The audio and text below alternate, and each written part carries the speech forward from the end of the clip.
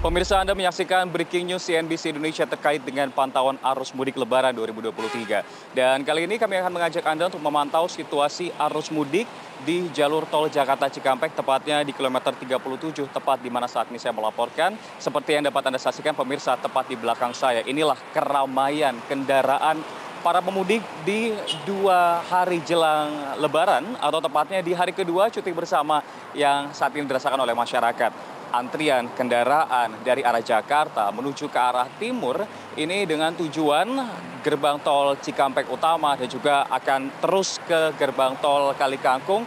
Ini nampak sejak tadi pagi pemirsa bahkan kami juga memantau ekornya atau uh, terlihat antrian atau keramaian kendaraan ini dari kilometer 17 Jakarta Cikampek pemirsa. Adapun memang ada beberapa hal atau faktor yang menyebabkan keramaian kendaraan walaupun uh, kita bisa melihat ini masih dapat bergerak pemirsa dan salah satunya adalah volume kendaraan yang terus mengingat, uh, meningkat mengingat hari ini ini merupakan titik puncak arus mudik yang sudah terjadi sejak kemarin malam hingga sampai besok pada tanggal 21 April 2023 volume kendaraan ini terus meningkat. Tidak hanya volume kendaraan saja pemirsa, namun juga salah satu halnya adalah penutupan secara situasional tol layang MBZ yang terjadi, di mana seperti yang kita ketahui ini sempat terjadi kecelakaan di tol layang MBZ dan juga menyebabkan kendaraan mengantri di tol layang tersebut sehingga jasa marga dan juga pihak polisian langsung sigap melakukan penutupan. Dan jika Anda melihat informasi atau gambar yang kami rangkum dengan menggunakan drone pantauan dari udara terkait dengan jalan tol layang MBZ ini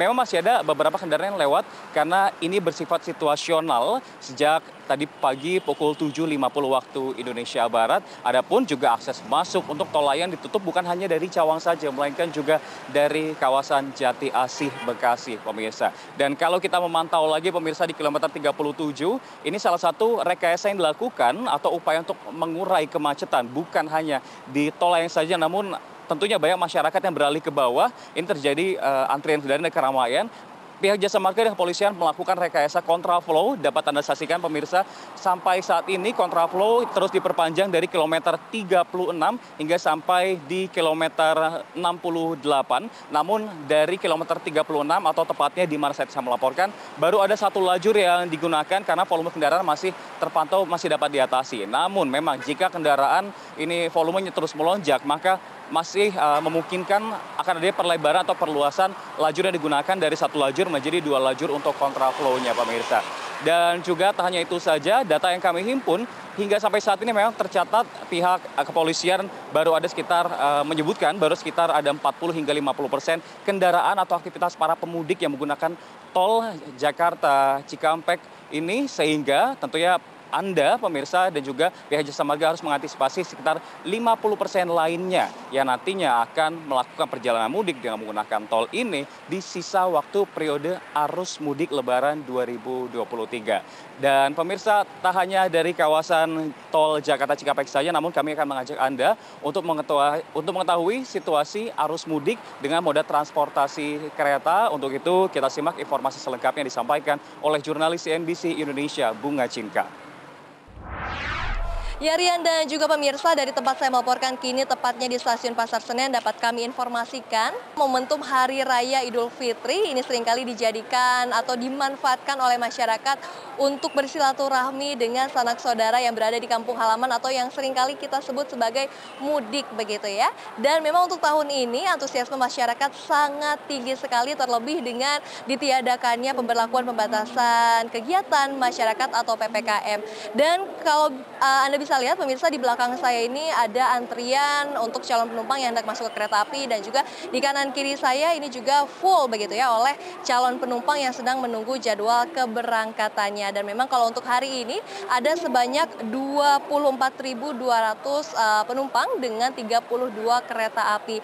Dan untuk periode libur lebaran tahun 2023 ini sudah ada 590 uh, tiket yang terjual dengan okupansinya ini mencapai 90 hingga 100 persen. Dan Anda bisa lihat sendiri pemirsa ini memang untuk saat ini uh, di ada juga petugas keamanan serta ada petugas gabungan TNI Polri yang ikut serta mengupayakan kesuksesan dan juga kelancaran dari mudik uh, Lebaran pada tahun 2023 ini.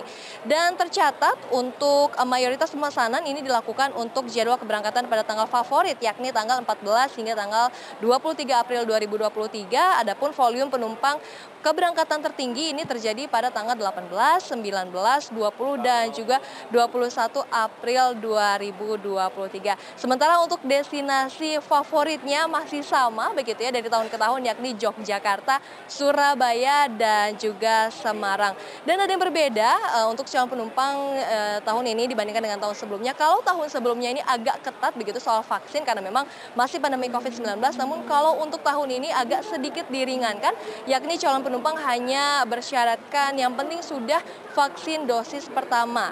Namun jika memang calon penumpang merasa memerlukan untuk vaksin booster ini sudah disediakan poskonya di stasiun Pasar Senen. Demikian informasi yang dapat kami sampaikan dari stasiun Pasar Senen kembali ke Anda Rian Antono. Demikian informasi disampaikan oleh Bunga Cingkat terkait dengan pantauan arus mudik dari stasiun Pasar Senen Jakarta.